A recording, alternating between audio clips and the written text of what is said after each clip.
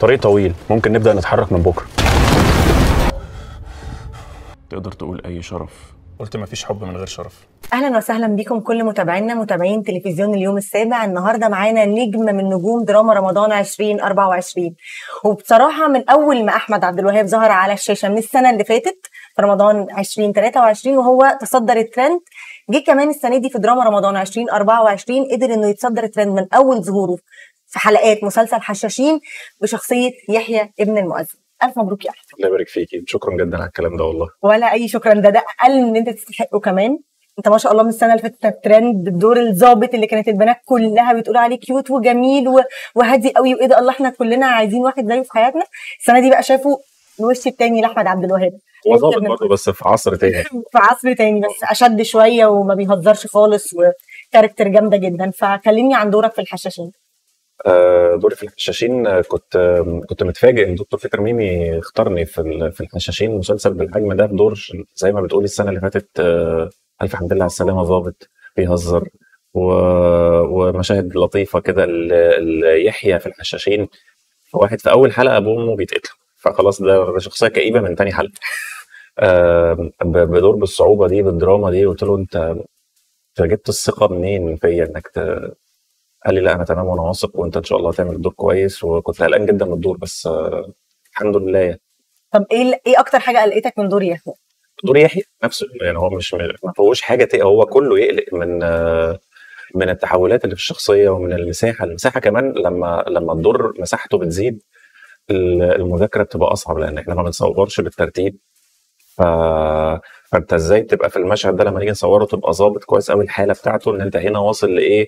عديت بإيه ورايح فين وجاي منين. آه فمساحته كبيرة.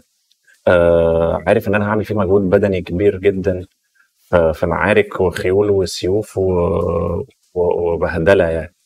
آه التحولات اللي في الشخصية والمشاعر الكتير اللي في الشخصية. للوقوف قدام نجم زي كريم عبد العزيز العمل بحجم الحشاشين إن أنت خفت أبقى أنا ال- ال- ال- الحاجة السيئة اللي في المسلسل إنه الدور ده لو ما. طلعش مني مظبوط آه خلاص أنا بوظت لهم المسلسل. فكل فكل دي حاجات أنا كنت بفكر فيها إنه ربنا يستر من الدور زي ده. اول مشهد صورته في الحشاشين كان إيه؟ كان حلم الجنة. الله. كان حلم الج... انت بدأتها بالحلم بس كملتها في النار؟ ما أنا اكتشفت ان دكتور بيتر كان بيضحك عليا بي يعني بي بيجيب رجل آه بيجيب رجلي في حلم الجنة وبعدين انت هتشوف أهوال بعد كده. okay.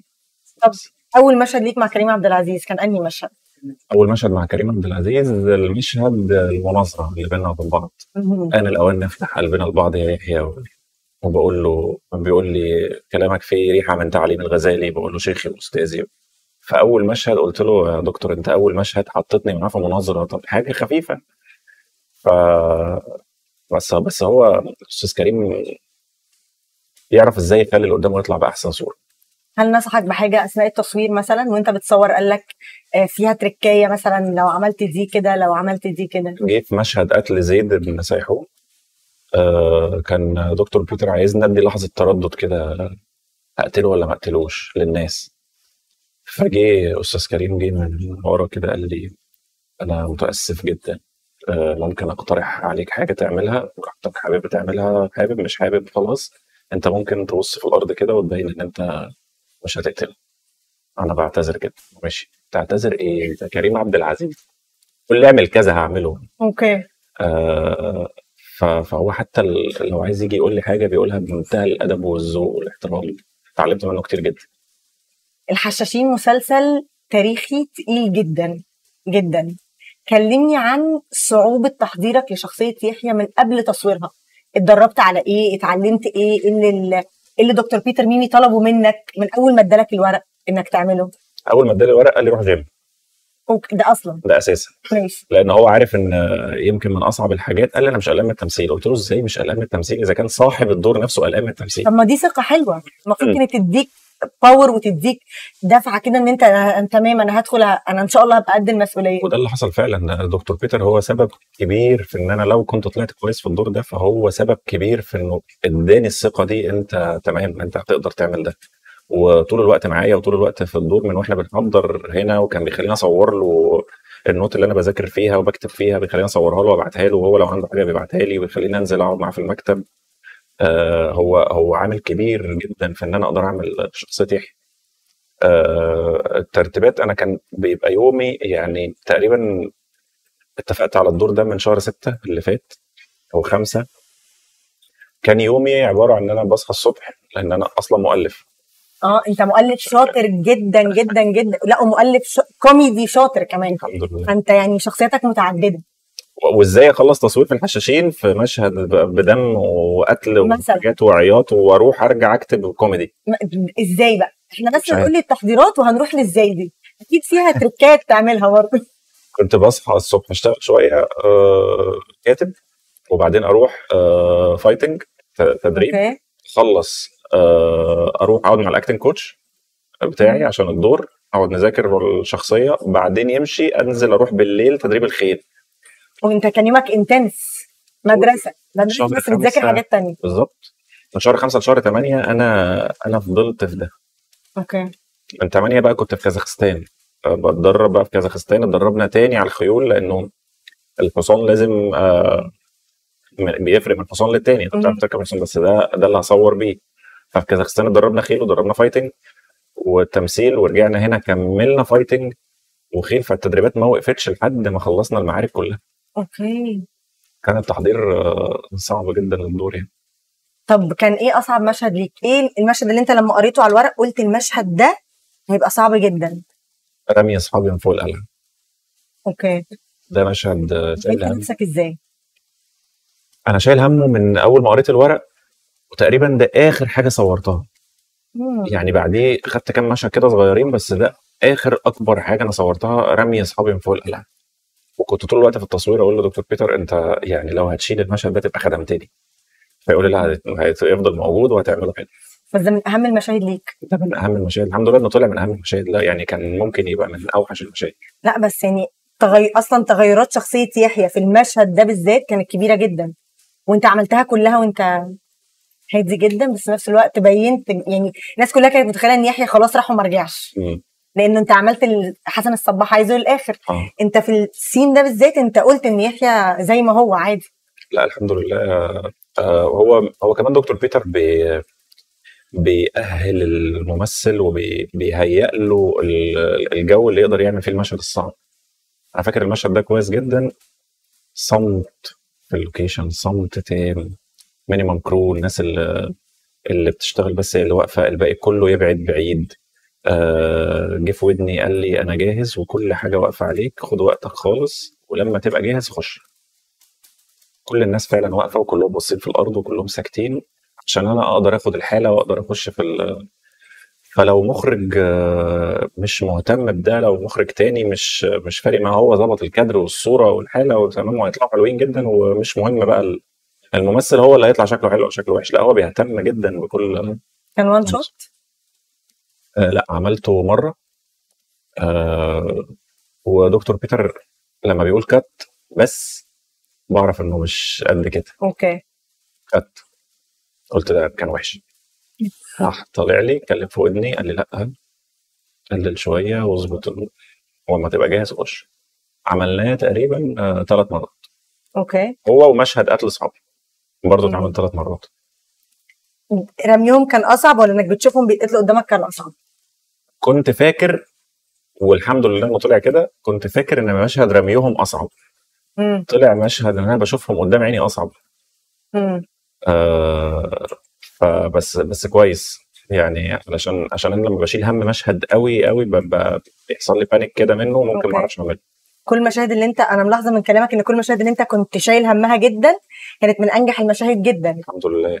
فدي حاجة بتأكد إن أنت كنت قد المسؤولية كنت ممثل شاطر جدا اختيار دكتور بيتر ميمي كان في محله.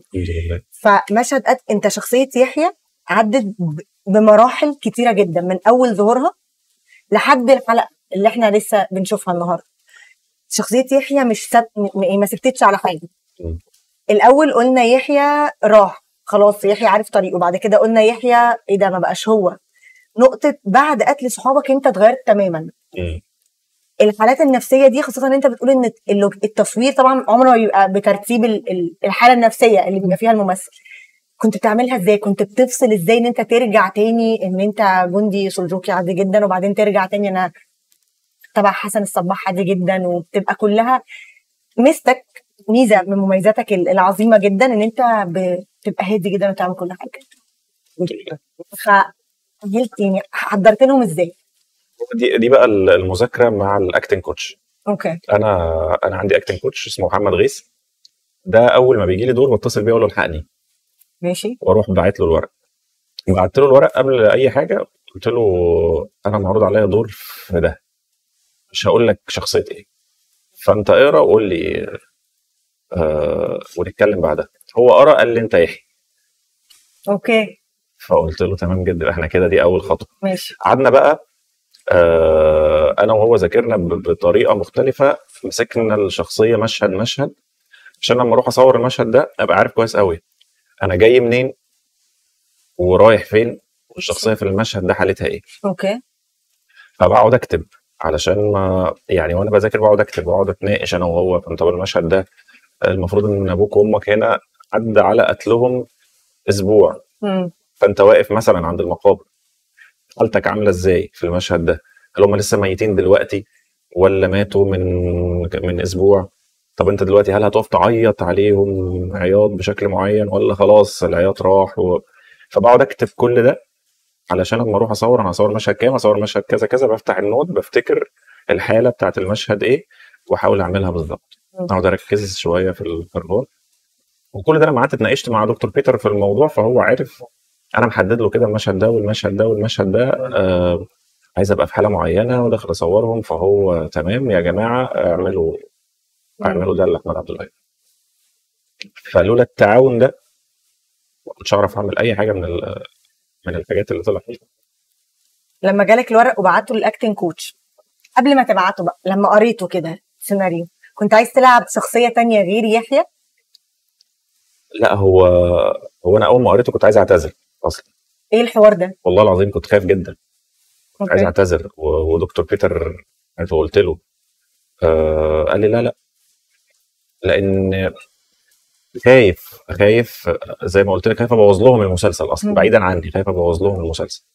بس آه لما قريت المسلسل لا شخصية يحيى أكتر شخصية بالنسبة لي جذابة في ال- في الورق عشان التحولات اللي فيها هي تغري أي ممثل الشخصية دي.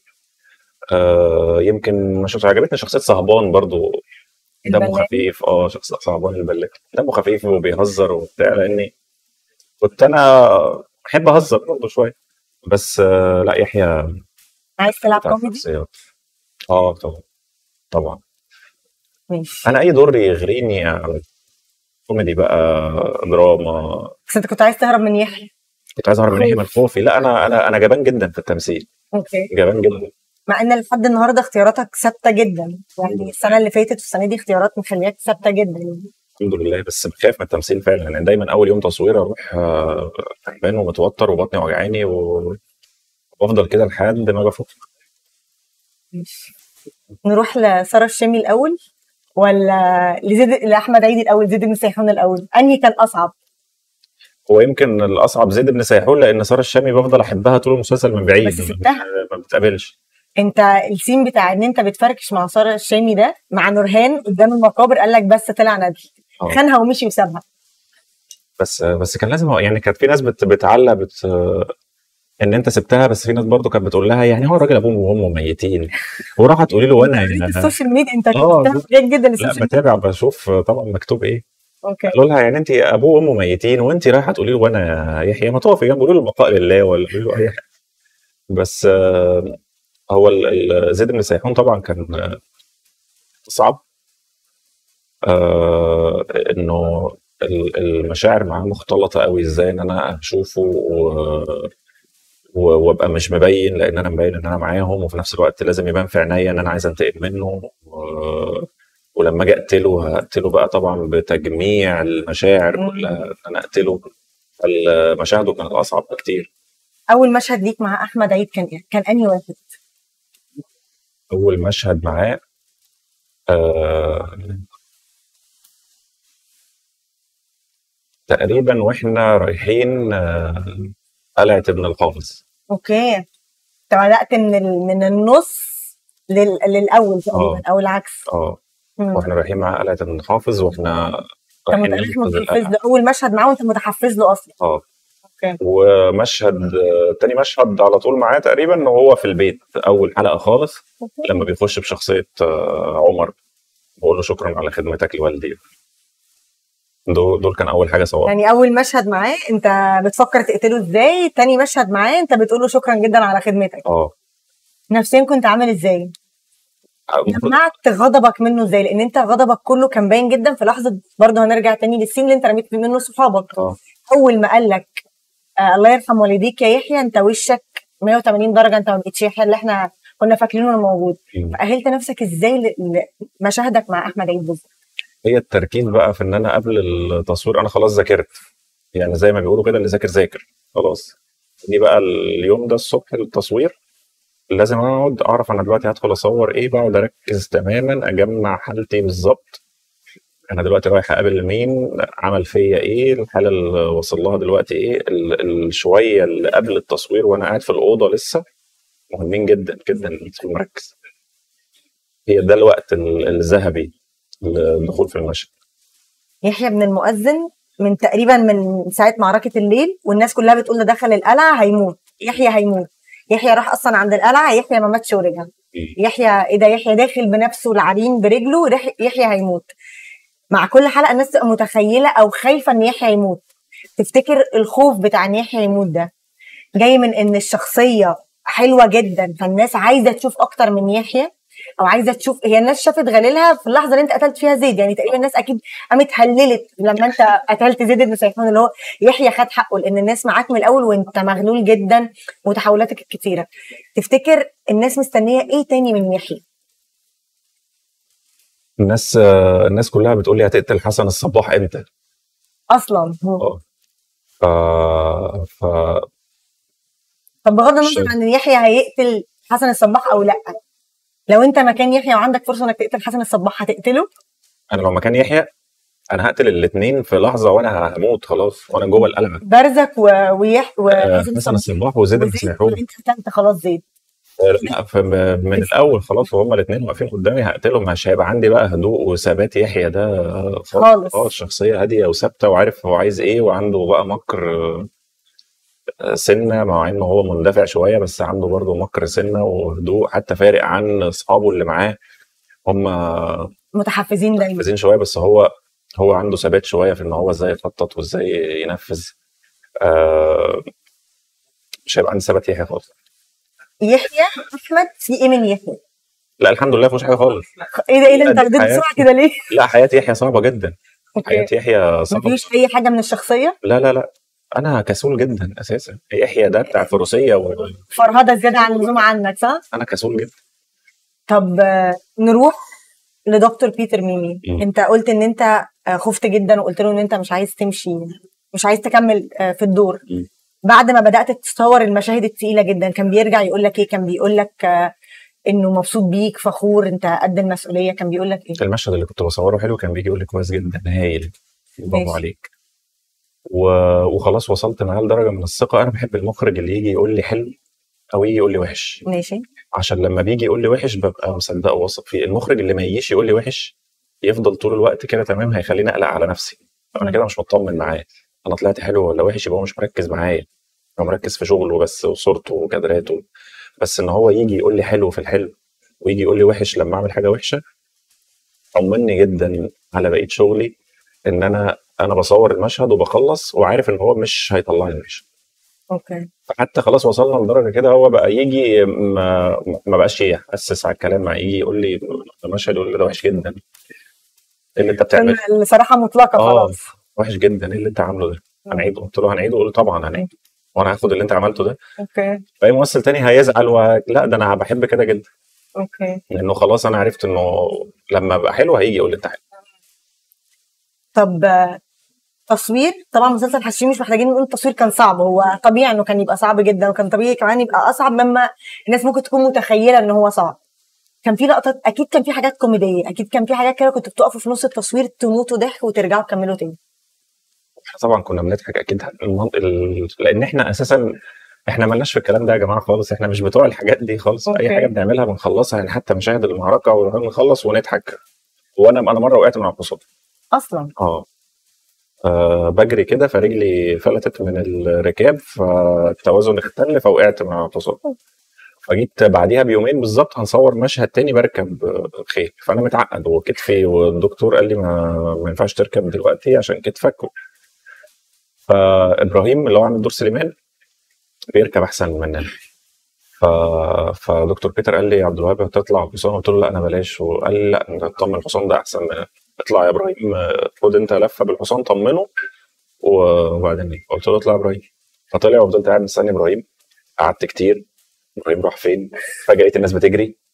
في إيه؟ إبراهيم وقع من على الحصان. يا نهار أبيض. راجع بقى إبراهيم مطرب خالص وإيديه متعورة. قلت له أنت وقعت من الحصان؟